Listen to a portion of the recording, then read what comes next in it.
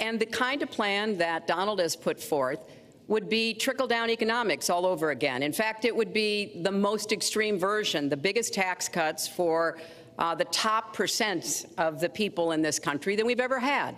I call it trumped up trickle down because that's exactly what it would be. That is not how we grow the economy. We just have a different view about what's best for growing the economy, how we make investments that will actually produce jobs and rising incomes. I think we come at it from somewhat different perspectives. Uh, I understand that. You know, Donald uh, was very fortunate in his life, and that's all to his benefit.